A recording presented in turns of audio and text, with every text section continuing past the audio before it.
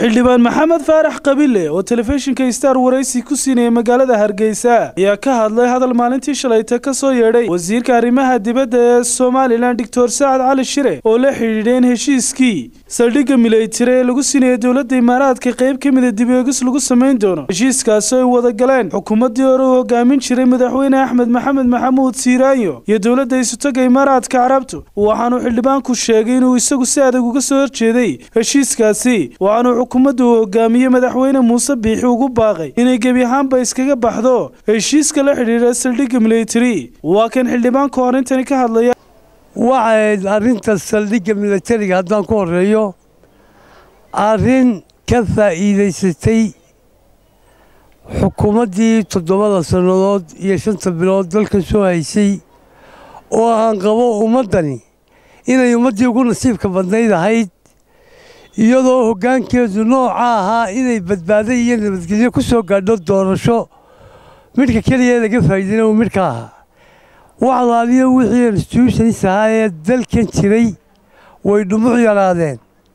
Qofku markuu gaboobo fiiniskiisa dhiigga qaadaa way yaraadaan. Dowladdan nuxurkii dowladnimo oo dhan ayaa dhumuc yaraaday muddadaa wixii ay saxeexday waxaan qabaa horta wax aan u malaynayo inay munaafac u leeyihiin dalka. Guud ahaanba inaanay ahayn arrinta saldhiggu waa arrin khatar ku ah dhinaca nabadgelyada mandaqadda geeska afrika oo dhan waa arrin leh dareemo togan sida dalalka etoobiya masar dagaalka ka socda maxaanku dhahaa yeman ee koolishanka carabta maraykanka iyo mandaqadda bariga dhexe ay ku jirto. Anigu waxaan leeyahay markaas komblitli dowladdu dubeegis waa dhab xaq bay u leedahay waa kelmad siyaasiya.